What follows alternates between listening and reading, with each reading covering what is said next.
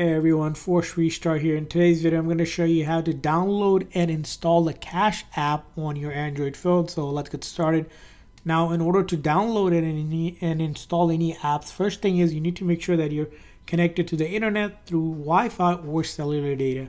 Now, once you're connected to the internet, make your way over to the Play Store that might be on your main screen, or if you swipe up, can find it here as well. So let's go ahead and open up Play Store.